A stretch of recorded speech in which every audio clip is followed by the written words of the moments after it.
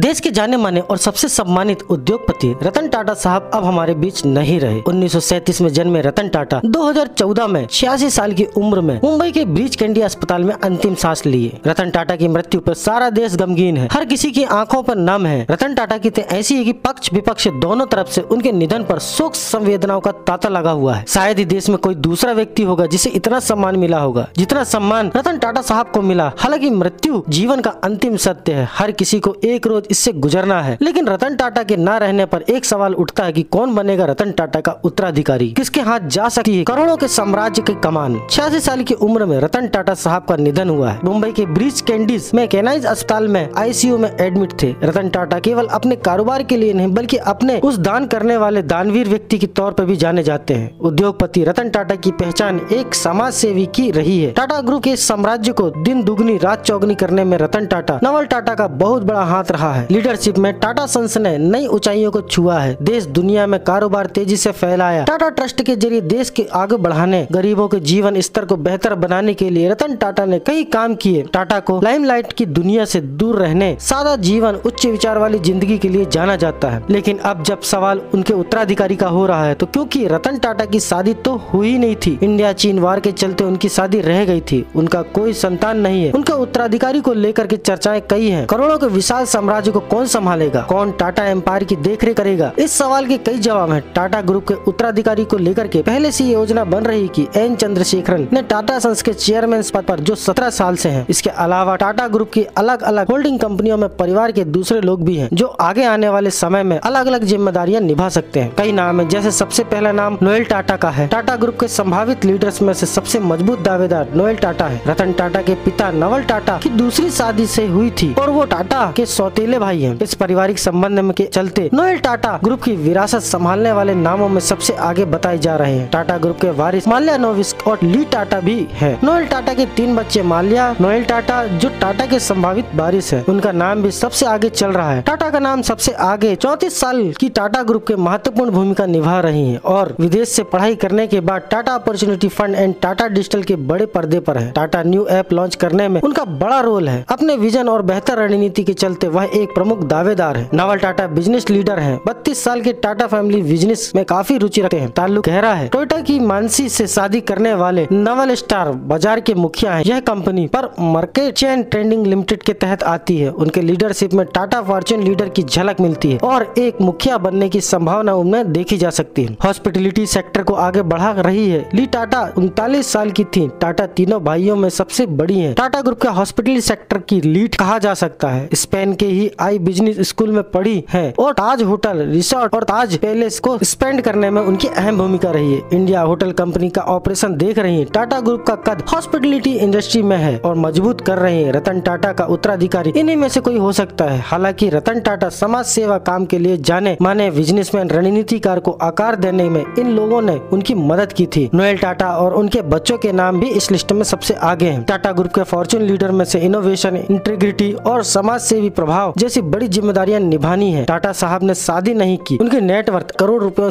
की है। अब सवाल ये उठता है कि रतन टाटा के बाद इसकी जिम्मेदारियाँ किसको मिलने वाली इन्हीं में से कोई नाम होगा जो शायद उस ज़िम्मेदारी को संभालेगा। लेकिन रतन टाटा साहब का जाना हम सब के लिए दुखद, गमगीन करने वाला विषय क्योंकि टाटा साहब कोई इंडस्ट्री नहीं थे बिजनेसमैन नहीं थे, एक आइकॉन थे, एक ऐसे व्यक्ति थे जिनका सम्मान हर कोई करता है। और अब जब ये लेजेंड नहीं है तो फिर सारा देश गमगीन है। एक ऐसा इंसान हिंदुस्तान से गया जिसके हिंदुस्तान के बिज़नेस को ग्लोबल स्टेज पर पहुँचाया बिज़नेस किया, लेकिन समाज सेवा को दान भी किया और शायद यही वजह है कि आज सारी दुनिया उनका सम्मान कर रही है।